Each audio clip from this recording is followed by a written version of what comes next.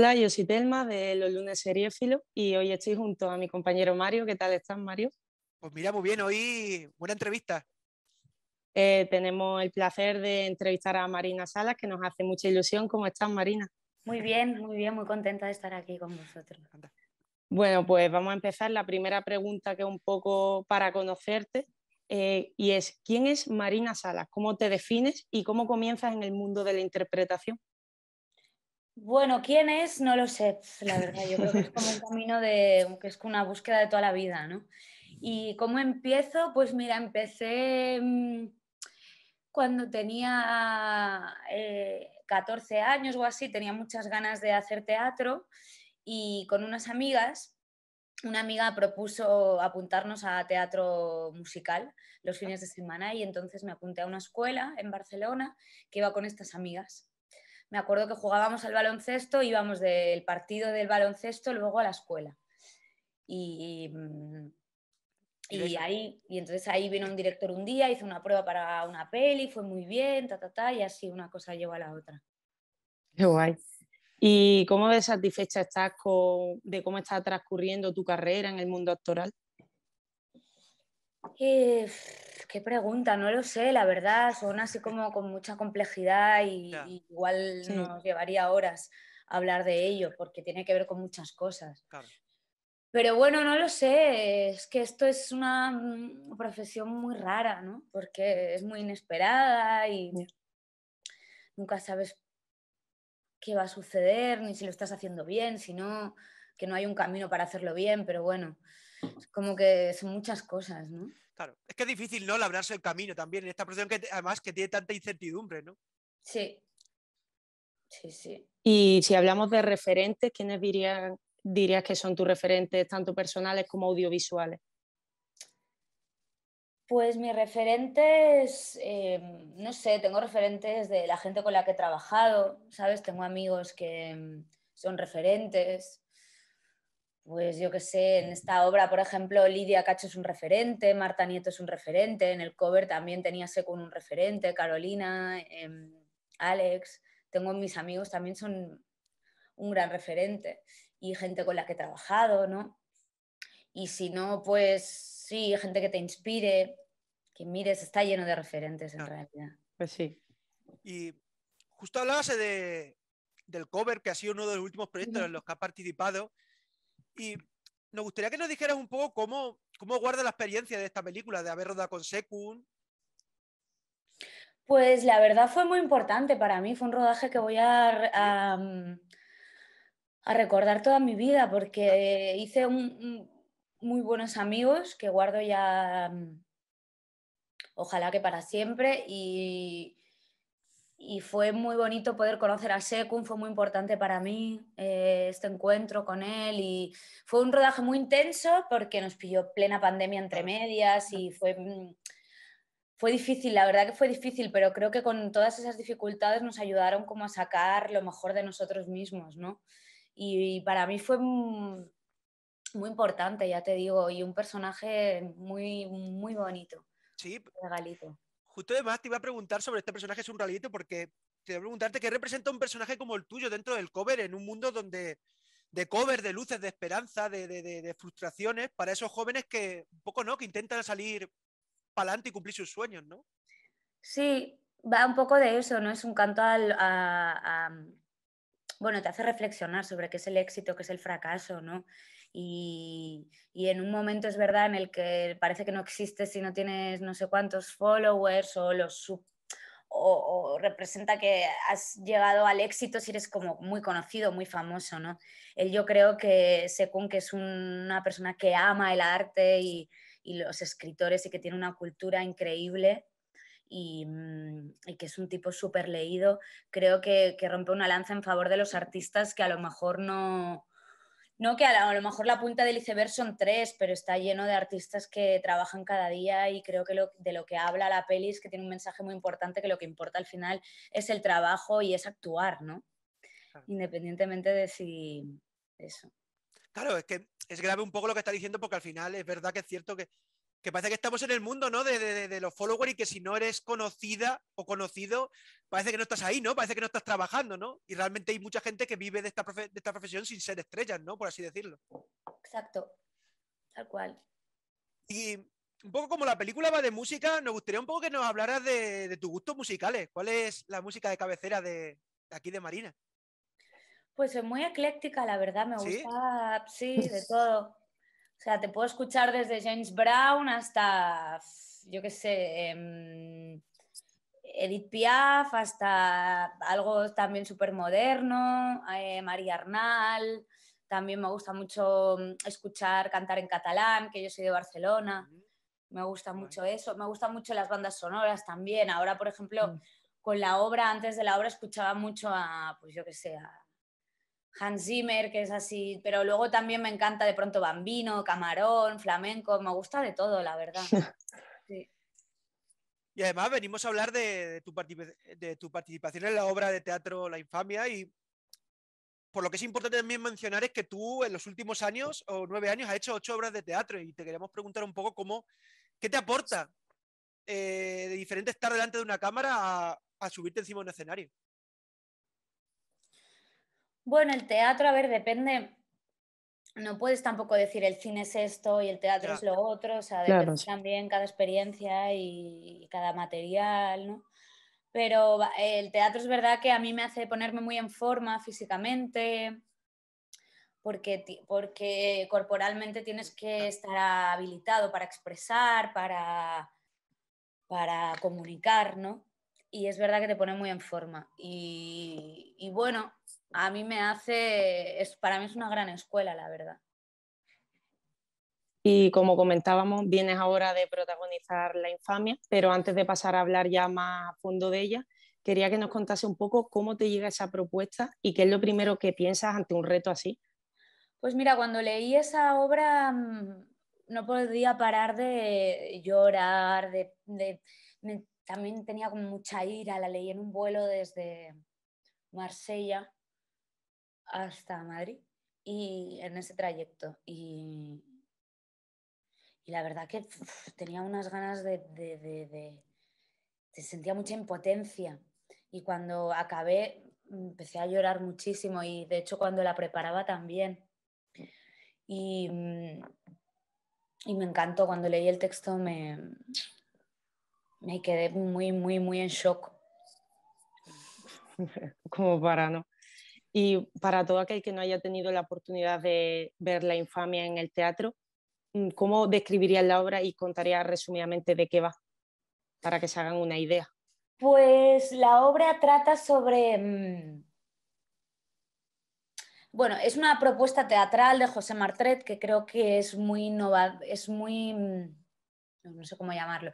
Mezcla, es una propuesta que mezcla el género teatral, documental y cinematográfico y cuenta la vida de Lidia Cacho en, como si dijéramos, en dos tipos de narrativas. Una cuenta em, desde un, un secuestro que tuvo, un arresto ilegal y todo el camino desde que la secuestran hasta que la sueltan en los capítulos impares y luego cuenta en los pares cómo ella empieza a desmantelar una trama de eh, pedofilia y de pederastía infantil en Cancún por, parte de unos empresarios mm, y unos magnates. Y mm, bueno, y eso. Como bien decía, eh, en la historia real de Lidia Cacho, a la cual tú das voz junto a Marta Nieto en unos días y tú en otros. Y quería preguntarte, porque eres la única que interviene eh, actuando, me refiero, aparte de la operadora de cámara, que ahora hablaremos de ella durante la hora y media de duración. Y además de eso, tienes que narrar e ir interpretando a la vez la historia, que ha sido lo más complicado de eh, cuadrar todo eso a la vez. Bueno, es que no hay una cosa en plan, eso ha sido lo más complicado. Yo creo que es todo, porque son tantas cosas es que tu cuerpo vaya entendiendo la experiencia, vaya haciendo experiencia y pase de ser una cosa mental, yo creo, el teatro, a ser una experiencia corporal. Que el teatro lo que tienes que es cuerpo, es presencia, estás ahí, es el momento. y yo creo que es ir integrando todo, es ir integrando el baile con Alicia, la cámara, la comunicación con ella, em, todas las notas, ¿sabes? Lo técnico, pero también que esté vivo, pero también es como ir, ir haciendo todo este trabajo. Entonces se trata como de que todo vaya apareciendo fácil, ¿no? Y que no, es, no haya nada mm, que es, bueno, eso, estar momento a momento yo creo que es, mira, como de las cosas más difíciles. Y más allá de, leerte la obra, ¿ha habido algún proceso de, documentación de toda esta historia? Sí, claro. Eh, Lidia tiene varios libros editados, bueno, muchos libros publicados. Yo me leí em, eh, Los demonios del Edén y Esclavas del Poder. Y luego tiene un documental en YouTube. Bueno, de hecho tiene mucho material vídeo en vídeo que está colgado en internet sobre ella y luego sobre todo también documentándome con ella. Ella estaba ahí presente desde que empezamos a ensayar. Entonces eso fue muy enriquecedor y siempre súper generosa. Y una de las cosas que hay que mencionar, como ha hecho mi compañera, es eh, Alicia Aguirre Polo, que es la protagonista de la obra, que ella está, se encarga de, de, de la operadora de cámara en directo para ir grabando planos totalmente cinematográficos que se van proyectando a la misma vez que se va transcurriendo la obra. Y te voy a preguntar cómo ha sido trabajar en ese formato y cómo una propuesta tan teatral y, cinematográfica a la vez. Pues muy interesante, la verdad. Y con Alicia ha sido, yo creo que tanto Marta como yo ha sido una conexión buenísima, porque ella es buenísima operadora, pero es que además tiene una intuición muy desarrollada y está siempre buscando cosas creativamente, siempre ve planos nuevos, siempre ve enfoques nuevos, siempre de pronto ha entendido la escena diferente y, y de pronto se trata de generar como una sinergia entre las dos y que sea eso, como una danza y que mm, la cámara sea una, mm, una compañera más, ¿no? Que no... Mm, bueno, eso, tenerla en cuenta siempre, ¿no? Y muy, muy interesante porque, porque es encontrar ese equilibrio de que está y no está, ¿no? que tiene que parecer que no está, pero está. Y a ella yo creo que le pasa lo mismo, tiene que ser invisible, pero a la vez tener una presencia y una escucha brutal. Y ha sido muy bonito porque veías la evolución y cómo al final ya nos entendíamos y ya salía fácil y ya nos escuchábamos sin, o sea, nos adelantábamos al otro, ¿sabes? O sea, había una escucha brutal, es ir afinando esa escucha de los cuerpos. Entonces es muy interesante. Es que más, más allá de la, de la propuesta textual, que es terrible lo que ocurre en esta historia, es que creo que también es una propuesta muy creativa, ¿no? Es un poco transmedia, ¿no? No sé cómo decirte, un, híbrido, ¿no? Entre cine y teatro. Sí, sí, sí, tal cual. Es un... Sí, es un híbrido, sí.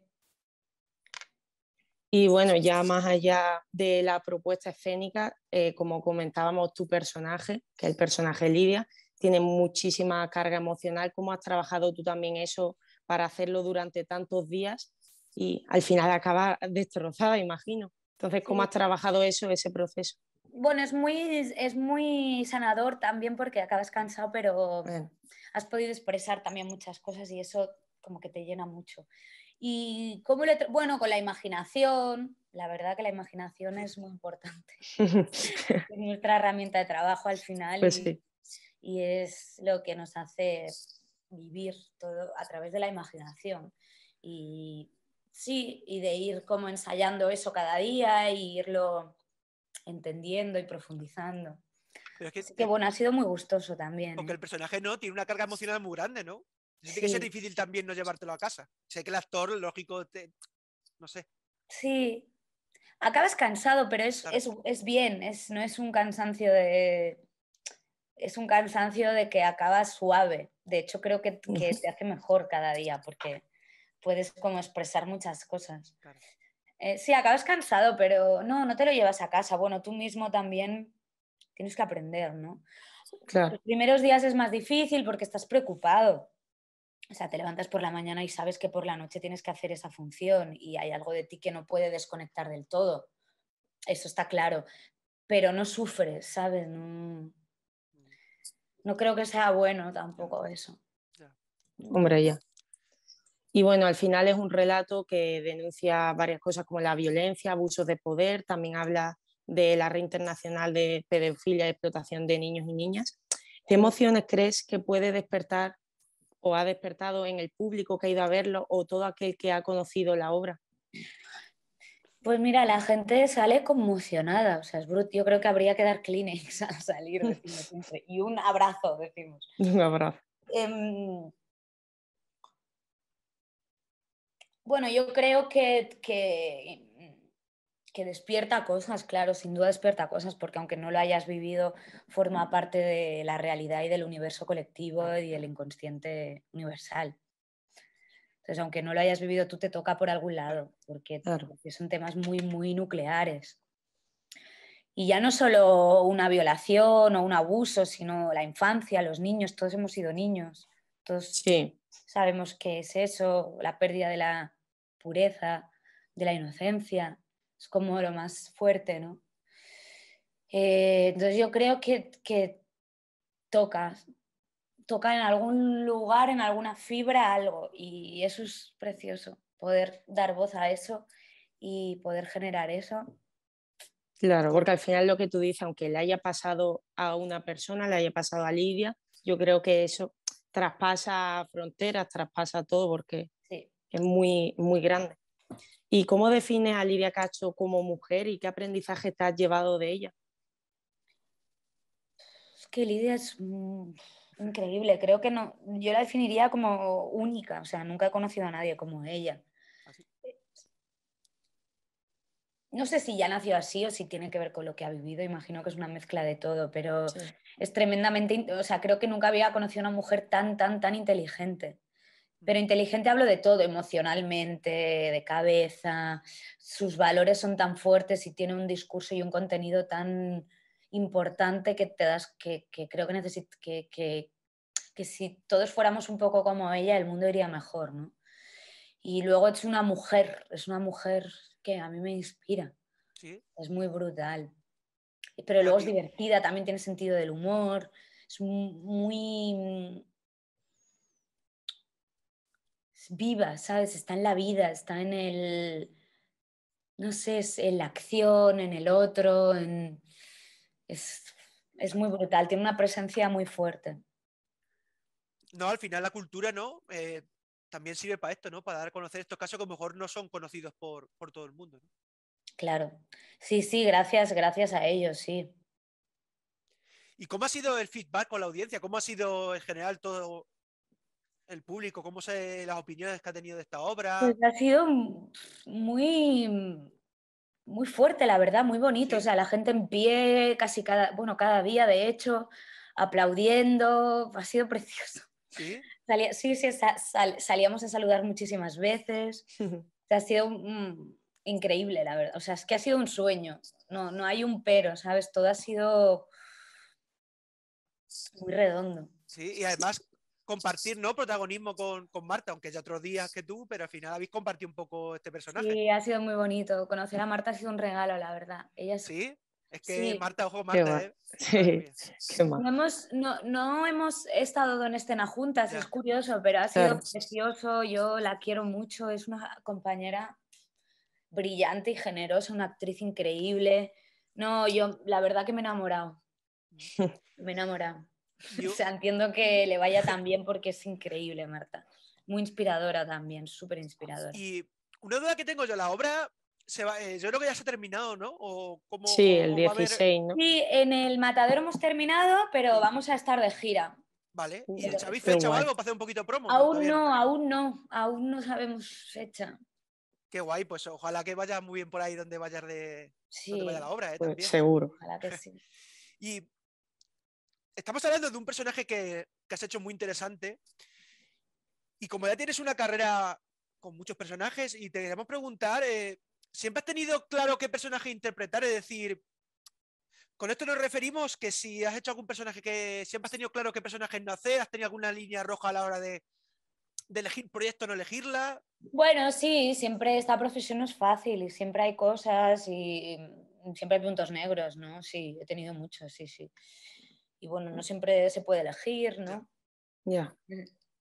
Bueno, pero, oye, la mayoría de los personajes al final, creo que has hecho buenas, no sé, buenas interpretaciones, sí. ¿no? Sí, yo estoy muy contenta, ¿eh?